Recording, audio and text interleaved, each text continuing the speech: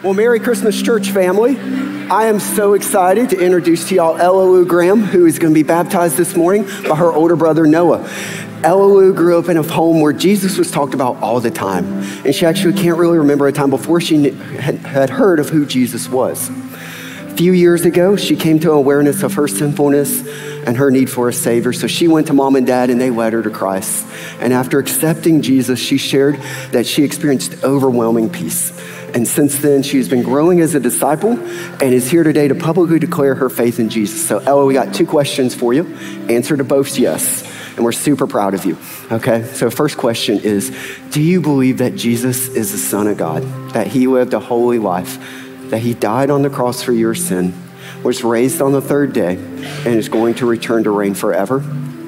Yes, good answer. And then have you trusted in Christ for the forgiveness of your sins and for new life? And do you promise to live the rest of your life in obedience to Him in accordance to His word? Good answer. well, based on your profession of faith, Ella-Lu, your brother now gets to baptize you in the name of the Father, Son, and Holy Spirit. Buried with Christ in baptism, raised to walk in newness of life.